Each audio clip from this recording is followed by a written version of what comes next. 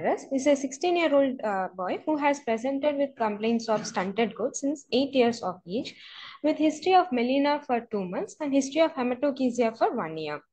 He also complains of on and off fever for almost 7 years and he also complains of a left ankle swelling and pain with inability to walk. So um, on examination, his vitals were all stable. He has pallor, but there is no cyanosis, icterus, uh, lymphadenopathy or edema. And he has other multiple soft swellings present over the body. I'll come to the details later. And he also has uh, loss of secondary sexual characteristics and his Tanner staging was G2P1. His other systemic examination was normal. So this was the appearance of the lesions on the body. So one is on the right mandible and the other is on the left ankle. So according to the history, he says that these lesions were there since three years of age. However, recently he has a left ankle increased in swelling with uh, tenderness, with pain and inability to walk. So let's come to the first problem. So this is a 16 year old uh, boy who has presented to us with history of hematochezia and melena and on examination was found to have pallor, but there is no lymphadenopathy, no splenomegaly and he has no history of any epigastric pain or other bleeding manifestations or any history of use of NSAIDs causing retching and uh, no history of any jaundice or abdominal distension. So because uh, because he does not have any features of esophagitis or peptic ulcer disease, we have ruled out those.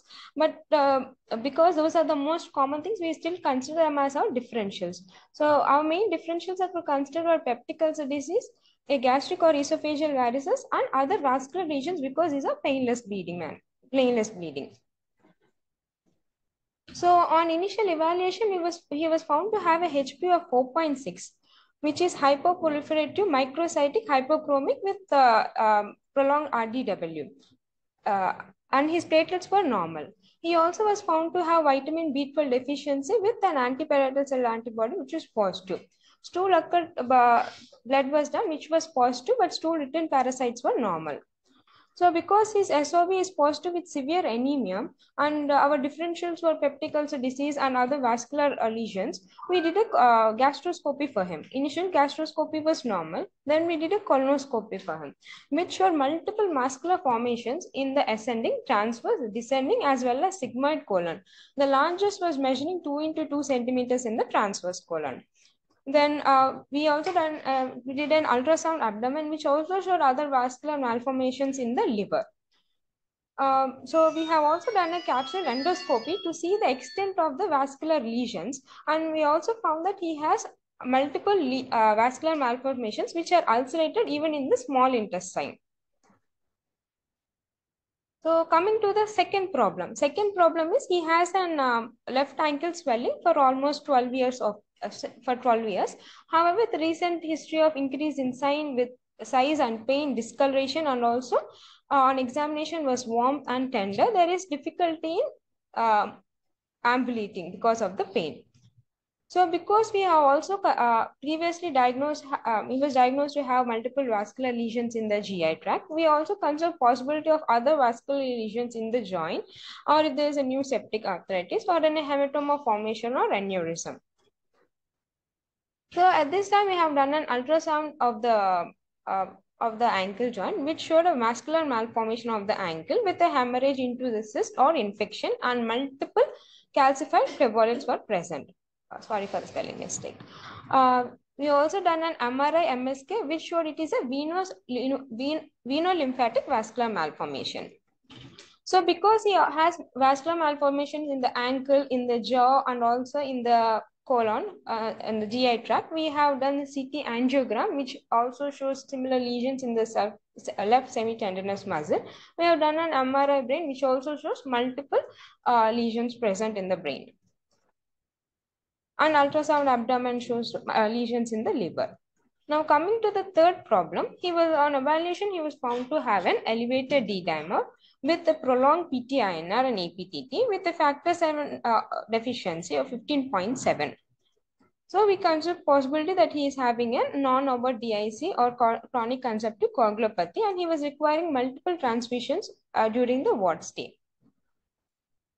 So, uh, summarizing, a, 60, a 16 year old boy who has presented to us with multiple vascular malformations since childhood uh, has currently presented with um, uh, probable thrombosis or infection of the left ankle lesion and with features of consumptive coagulopathy and bleeding manifestations from the GI. So, what are these vascular malformations? International Society for Study of Vascular Anomalies has classified vascular uh, lesions as two uh, has classified them into two, which is vascular proliferative regions or uh, neoplasms, which are known as hemangiomas, and vascular malformations. So usually we do tend to misnomer or misdiagnose patients with vascular malformations as hemangiomas. So how do we uh, differentiate vascular malformations and hemangiomas?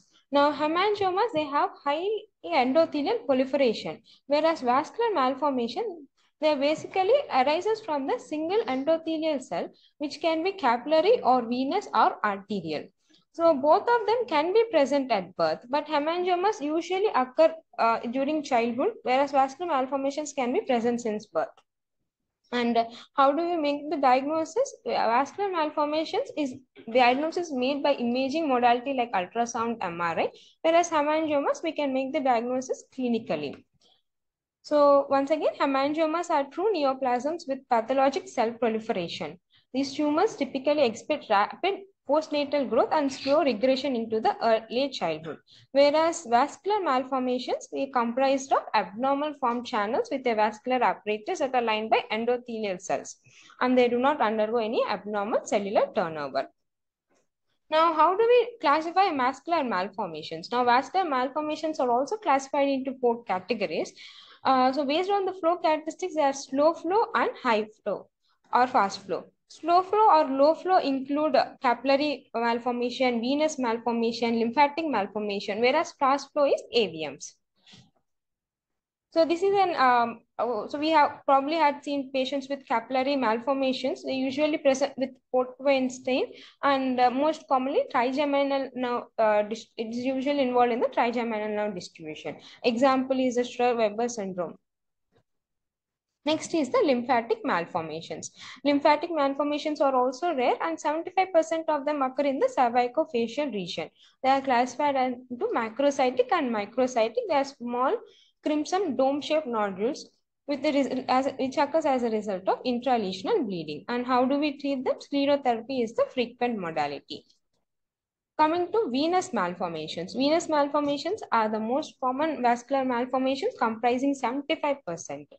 So they usually have, uh, there will be a venous stasis in, uh, uh, sorry, there will be stasis of blood in case of venous malformation. So because of that, they tend to have thrombosis.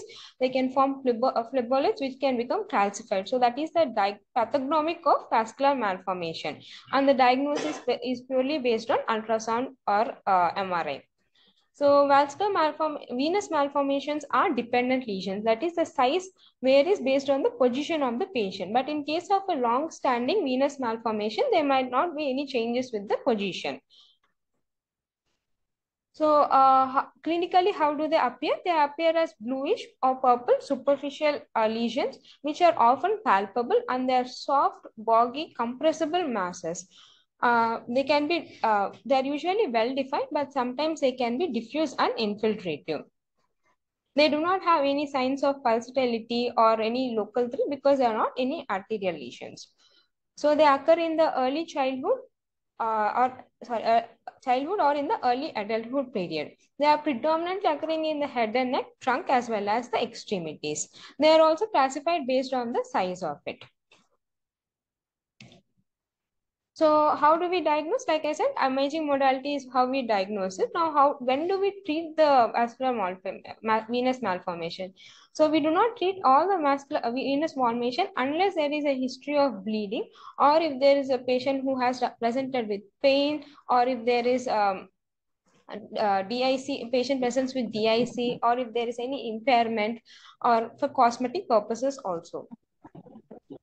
So what is the gold standard of treatment? Uh, sclerotherapy is the gold standard of treatment. Uh, uh, however, surgery can also be done. Uh, it, could, it could be an extensive surgery, hence it's not usually preferred. So what is the other modality we can do if we are not able to do sclerotherapy or surgery? That is giving oral sirolimus.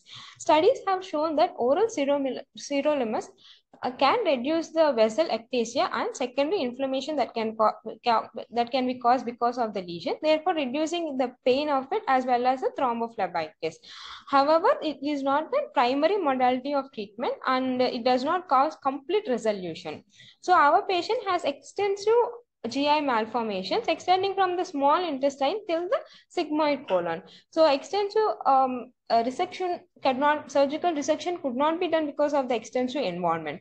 And sclerotherapy was also not uh, could not be done because there are few areas with thrombosis.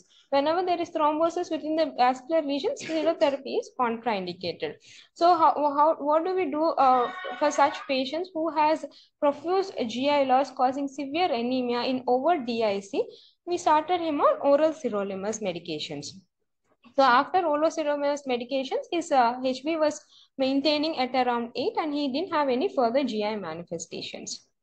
So uh, because he has uh, manifestations from childhood, we saw uh, with con concern possibility of congenital vascular lesions. So what are the different congenital vascular lesions that we uh, usually see? The first one is Sturge-Weber syndrome, as I already discussed, which is a capillary malformation. The other one is Klippel-Trenaunay syndrome, which contains of a triad that is involvement of skin, bone, as well as subcutaneous uh, tissue. So they usually can cause uh, limb uh, extremities enlargement.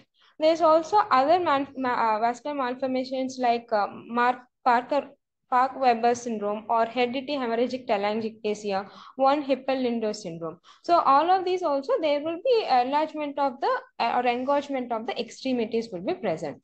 The other thing that uh, we considering likely possibility for our patient is a blue rubber bleb syndrome. So this is an cavernous venous malformation which includes the GI, the skin, spleen, liver and CNS. Our patient has all of this except for the uh, spleen manifestation. So other differential that we other syndromic uh, uh, hemangiomas is Osler-Weber-Rendu's syndrome, which is an autosomal dominant. Um, he has an autosomal dominant inheritance. It also can present with mucocutaneous telangiectasias, especially in the oral and nasal region and it can also involve the small intestine, the stomach and rectum. So this was our second differential. So for our patient, after starting oral sirolimus, we have done a DNA banking and the results are awaited to look for which uh, uh, uh, congenital syndrome he fits into. Thank you.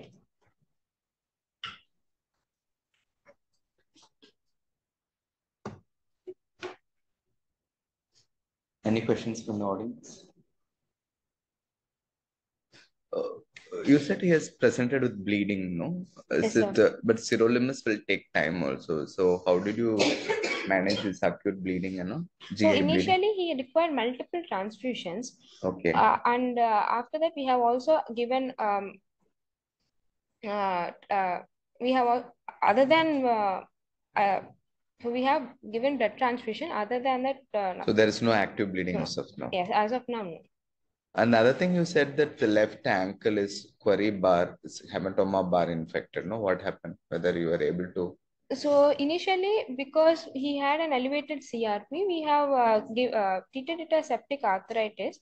Uh, I mean, not septic arthritis. We had treated it as infection of the uh, uh vascular malformation. So we have treated with two weeks of antibiotics. However, the, there is no significant reduction in the size, no significant reduction in the uh, warmth or pain for him. So that's why we have considered doing a sclerotherapy because we consider possibility that he has a thrombus underneath. So we did an ultrasound and MRI which is showing a significant thrombosis with phlebolith present.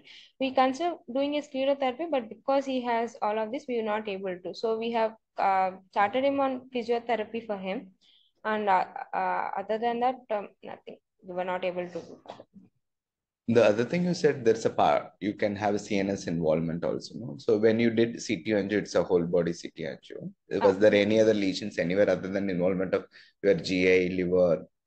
He has a other brain, than this... brain involvement with the left medial rectus involvement. We have uh, we have uh, we have uh, even involved neurosurgery. They, uh, because the patient had no symptoms and there is no bleeding manifestations. I mean, there is no abrupt bleeding from the vascular malformation in the brain. We didn't uh, further do any uh, intervention for the same thing. But he's on follow-up from neurosurgery. Sorry. Okay. He's on follow-up on neurosurgery. Okay. Thank you. I think uh, out of these four, I think uh, uh best like good presentation would go to ISPEP from Medicine 5, Sharon.